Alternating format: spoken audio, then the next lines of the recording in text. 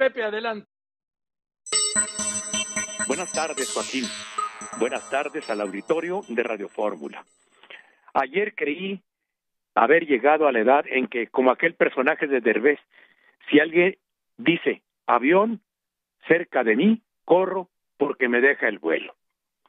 Solo eso me explica haber olvidado que el pasado domingo se cumplieron 54 años, Joaquín, desde que te despertó Don Gá en la redacción del viejo Heraldo de México y te notificó que ya tenías tu plaza.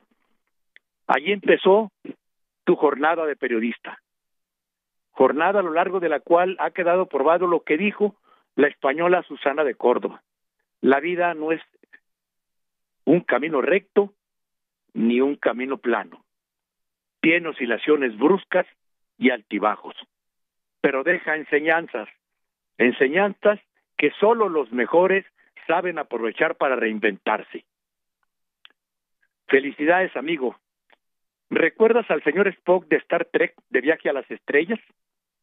Pues Joaquín, te mando el saludo vulcano. Larga vida y prosperidad. Gracias y buenas tardes. Gracias, querido Pepe. Tú has sido parte fundamental de todo esto. Te abrazo con cariño y muchas gracias a todos los que se acordaron de estos primeros, primeros, ¿eh? 54 años.